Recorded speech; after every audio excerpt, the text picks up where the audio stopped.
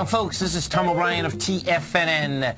We go five days a week. We go nine hours a day. We go 24 hours a day on the internet at TFNN.com. Always remember, folks, whatever you think about, you bring about. Whatever you focus on grows. It's a TGIF, folks. Let's make it a great one. Let's take a look at one of our four agreements. Serve the one you love.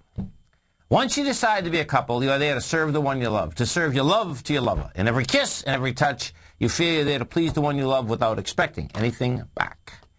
Market-wise, let's take a look at it out here. We had the Dow Industrials down 35, NASDAQ off 20, S&P's off 3, gold contract flat at 1,696 an ounce. Silver down 7 cents, trading out at $32.28 an ounce.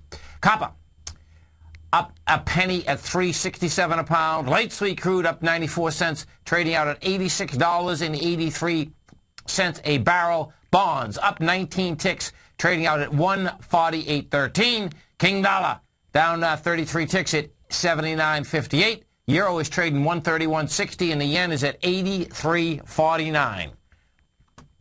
Our phone number is 877 927 6648. Give us a call, folks. Want to know what's going on in your world. In the world of the S&Ps, let's take a look at them. What do you have? We're at 1412.74. We did uh, 656 million versus 663. I suspect right now, in fact, uh, more than likely it's it's over that right now because till quarter past four, they can uh, you can basically get the same acceleration. Okay, so it's 665. Bottom line, small expansion in volume. Uh, we stay with the S&P here for a second. What do you have with the cash S&P? We're at the 1412. This is going to be next stop down here is 1398. That's where it's going to make it to. Uh, what I do want to see in the S&P and in the Dow Industrials is an expansion of volume. You had a slight one today, but no no big one. Dow Industrial, same setup in the Dow. You're down 35 bucks. No big deal there. Uh, you're at 13,135. This is going to make a run down to that 12,923. NASDAQ Composite. Now, Composite is a different animal. Composite has the has the juice, has all all of the above. Uh, composite today down 20 bucks. We're at 29.71. Um, what the composite's going to do, and this is what's always dangerous, folks. The composite closed at 29.71. The swing point there is 29.58. Um, composite very well can jump the creek. And jumping the, it's a small creek, but the bottom line, jumping that creek is going to put the composite ASAP down to that 28.10 area. And we know as soon as we talk the composite, as soon as we talk the NDX 100, Apple. Someone took a nice big bite out of Apple today. Okay, so what does Apple do? Apple down 20 bucks. We're at 509.79. We did 35 million shares, so check it out. What we have here is this. We hit a low today. It hit 505.58. That low that was established on the first A to B leg on the way down, November 16th. Uh, that low had 45 million. It did 35. Uh, the next low that it broke out here today, a higher low, that was 518. It just blew that one away. Now, that's on the daily. Watch what ends up happening when you put this on the weekly. It's nasty. It is nasty, nasty, nasty.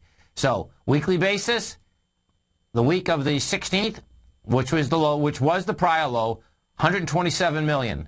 Well, we just committed to that with 119 million.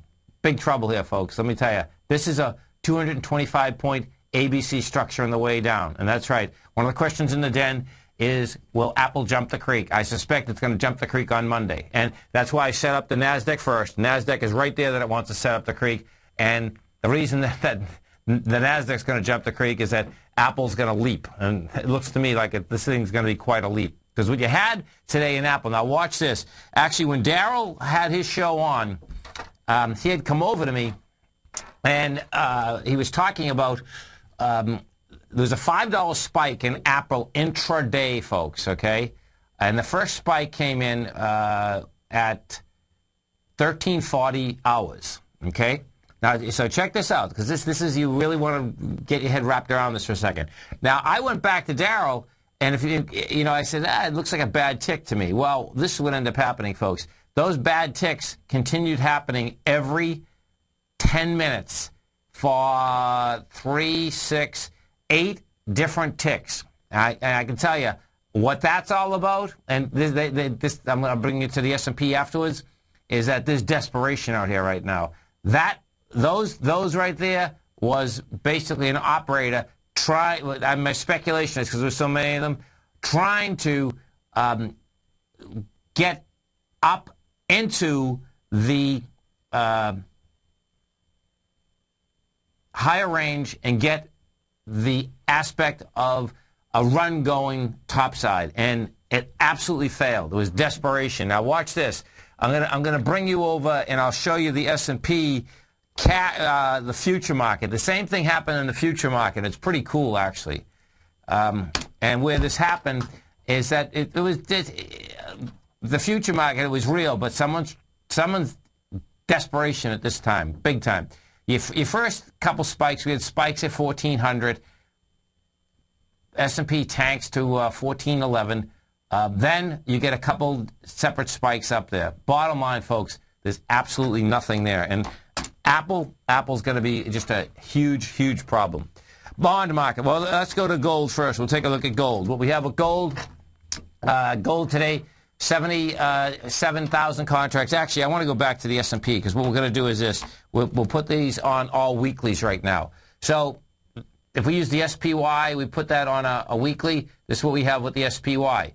Um, on a weekly basis, so you got to a price point on a weekly of 144.55. You closed at 142. What the 144.55 had done is it got over the week of November 9th, closed underneath it. That's a total failure. We did that on 650 million shares versus 852.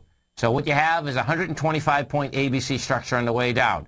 We'll see how it attacks the lower B point, which in the SPY is 134.70. That's how it's set up right now, though. We came down with volume. We got up with lighter volume, rejected that level. That's where it wants to go.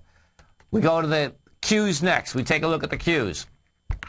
What the Qs did on a weekly basis also is that the Qs got into, I think we're going to be dealing with the same November 9th and all. Yeah, yeah, we're dealing with November 9th and all of them. The high of November 9th was 66.17.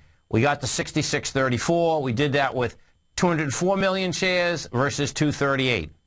Harmony, harmony what? Harmony to go downtown. We take a look at the small caps, the IWM. We look at the small, the small caps. We'll put that on a weekly basis. IWM dealing with the same November 9th uh, area. Uh, IWM did volume of 170 million versus 194. We got over the high. We got over that 82.57. We had, we got to 83.80. We closed under the 82.57. We closed at 82.36. So what you have there between the S&P, the NASDAQ, the small caps, I'll do the diamonds right now. It's This is total harmony, folks, across all the industries. We take a look at uh, the diamonds. We put that on a weekly.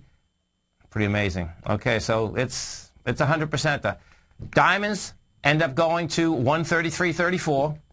We did 23 million shares, which it got over the 132.63. Correlation closed underneath it. 40 million versus 23. It's across the table, baby. It's across the table. Let's go over to the uh, bond market. USH3. We take a look at bonds. What we did out here with bonds today. Uh, she went up with 300,000 contracts. So that was the test uh, of the day of strength of November 7th. Uh, yeah, so never, they never made it to the bottom. 147 was the bottom, folks. Uh, what you did, we got down to uh, 147.09. And today uh, you basically start moving topside again. Once bonds come back inside, oh, they did. They, they come back inside the higher range, which is 148.11. That's saying bonds are going to be making the run next week. King Dollar. Well, we have with King Dollar here. King Dollar, she went sideways out here today. Uh, 13,000 contracts. And this is the good thing. If you remember when we were talking about uh, that, that spike down, okay, on the Fed announcement day how to get tested. Uh, it had totally rejected that lower price. We, uh, when the, the Fed announcement came out, we went to 79.36, rejected it ASAP, but we had 45,000 contracts. Guess what? We came down there today with 13,000 contracts. you know, it, it's laying at that level. Uh, but bottom line is that that's the initial test. This is Tom O'Brien. This is TFNN. We ended our industrials closed down at 35. Nasdaq off 20. S&P's off uh, five and a half. You stay right there, folks. We'll come right back.